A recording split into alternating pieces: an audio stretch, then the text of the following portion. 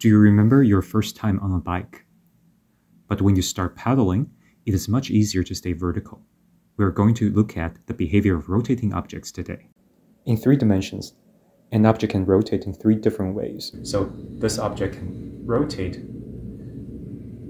with respect to the axis which is vertical, rotating with respect to the axis which is sideways, and rotate with respect to the axis which is front and back.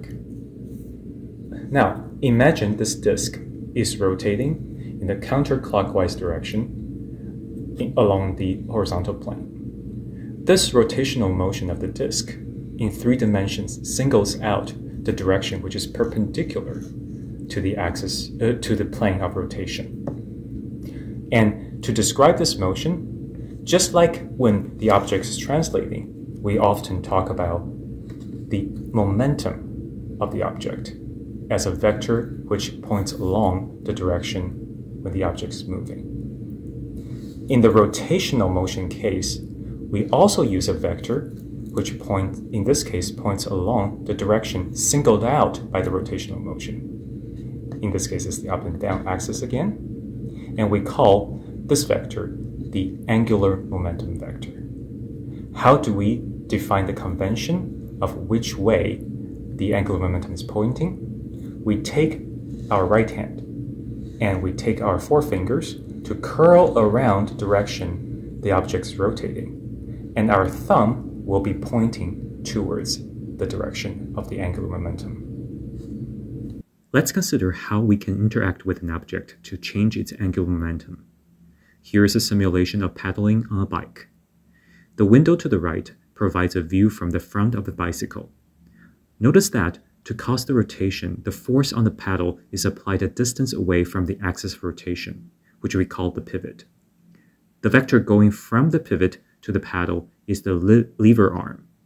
The force on the paddle and the lever arm, which is labeled OP here, together define the plane of rotation.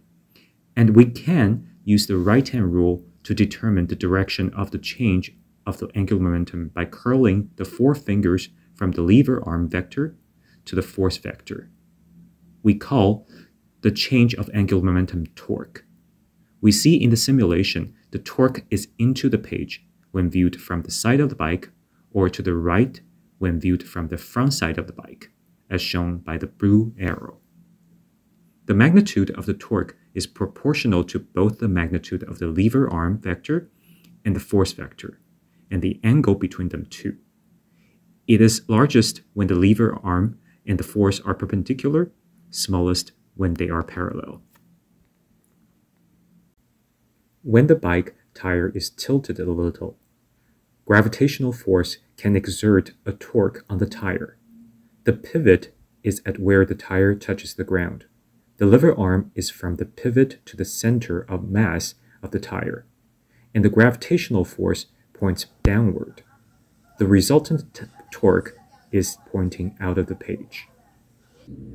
Now, when the wheel is rotating in the counterclockwise direction, we can use our right-hand rule again to find out that the angular momentum of the system is pointing along the blue arrow.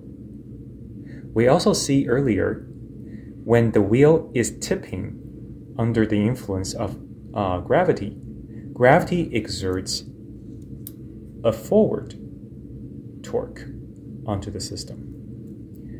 The vector nature of the angular momentum tells us that we need to add these two uh, components together to obtain the final angular momentum, which means that we go from the beginning of the first arrow to the tip of the second arrow, and which is indicated by this black arrow here.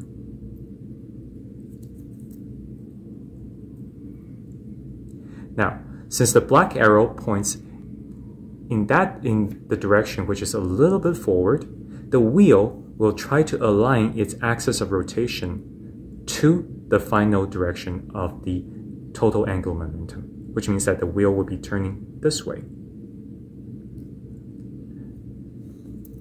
Therefore, when you're on a bicycle, as your wheels are turning, and even if you're tipping a little bit due to gravity, instead of falling, the wheel would tend to rotate a little bit to align its axis of rotation with its angular momentum.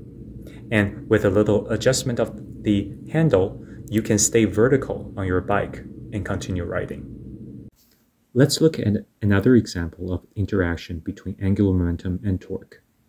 When the wheel is not spinning, the wheel will tumble when I let it go.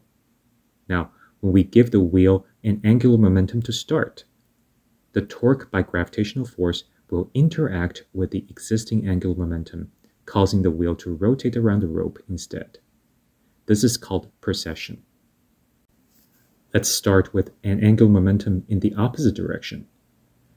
Precession has been used to stabilize gyroscopes when ships are traveling around the globe. Hope you have enjoyed watching the video and we'll explore more about rotational motion around you.